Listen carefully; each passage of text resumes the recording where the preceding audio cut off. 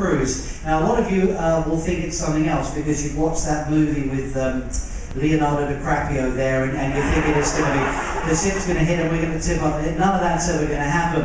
The most dangerous thing on our ships, of course, are the suction toilets. Now, they are controlled a little bit these days, but for any of you who sailed back in uh, maybe 10 years ago, when we brought out what was then the world's largest cruise ship, the Carnival Destiny, at 100,000 tons, um, things were a little different. That was the first time we put one of those power vacuum toilet systems on our ships. And we have a story that involves a couple from Lubbock, Texas, who will never forget their experience. Now, this ship was uh, two weeks old, and there we were. Uh, we were sailing uh, on our second inaugural cruise, and this couple and I, and many of the crew members on board, will never forget this story. So here we have the couple from Lubbock, Texas. The first day at sea, into the sun they go, put on the suntan oil and relax and have a good time. Well, after a few moments, the lady gets the call of nature. So she takes a stroll down to the cabin she sits down and does what she has to do. Before she did that, though, she'd taken into the bathroom that ports of call book that we put in there, in the cabins there, took the book, sat down, and is so enthralled in reading all this information, she decides not to stand up before she flushed.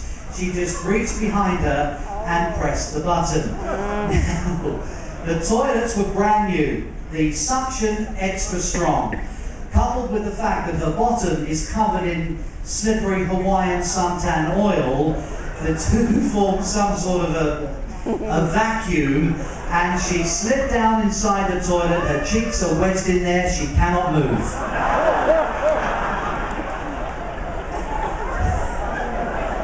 One hour, this is actually one hour later, her husband wakes up from his nap in the sun trying to find it. Where is she? So he takes a stroll down to his cabin, sees his wife stuck in there, tries to pull her out, he can't budge her. Now, at this point, if this was you or me, we would pick up the phone, call 911, and ask for help. This man, again, I can only emphasize again, absolutely true, did not pick up the phone and call the emergency number. He took a stroll from deck 8 all the way forward, took an elevator down to the lobby, and stood in line at the guest services desk. so he stands in line, he tell, eventually tells the purser there, the purser thinks he's joking, he, she realizes he's not, and she did the right thing, she thinks it's an emergency, so she called me. Now, we have an emergency. Well, my job really is just to press the PA button. If you're ever on a carnival ship and you hear the word Bright Star, that is our emergency response code for a team of people to get together. So she tells me what's happened. I think that's absolutely time for Bright Star. So I page Bright Star and I tell everybody the, the, the team, the cabin number, and that puts into operation this. I say Bright Star. So running now towards the cabin is the doctor, two nurses, the joiner, the carpenter, the plumber, the chief security, two security guards, the staff captain, the hotel director, and me. Now, our husband realizes that 12 strange men are on their way, realizing that his wife is going to be sitting on the toilet and we would, she would be embarrassed. He ran ahead of us. Now, being from Texas, he brought a cowboy hat with him. So he took his cowboy hat and put it across his wife's embarrassment. In we walk. In we walk. We all go, arrive, get into the cabin. I'm there, hotel director, chief engineer, we're all there. And ahead of us is little Luigi, the five foot nothing Italian plumber.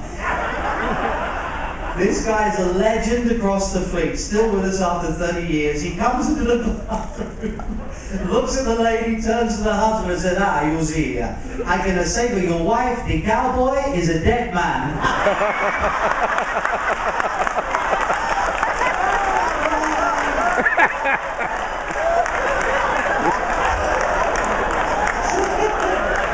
so,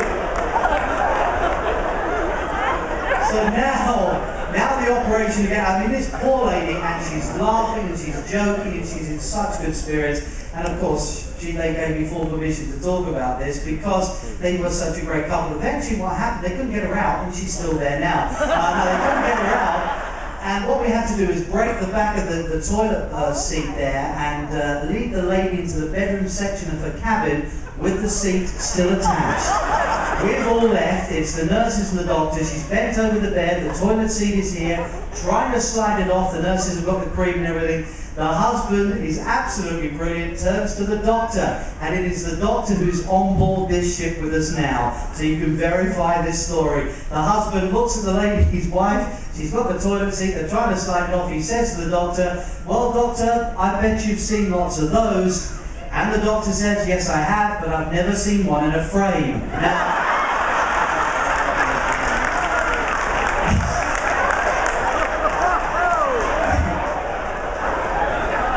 things like that can only happen on a cruise ship. And uh, it is uh, one of the stories that I can tell you. There is so much that goes on behind the scenes that I can't tell you. Luckily, I, I am. I have this little blog thing. So if you want to find out all the, the good and the bad stuff that goes on behind the scenes, I'll put the address in the caper today. So with that in mind, uh, I'm going to give you the information on how to get off the ship tomorrow. Again,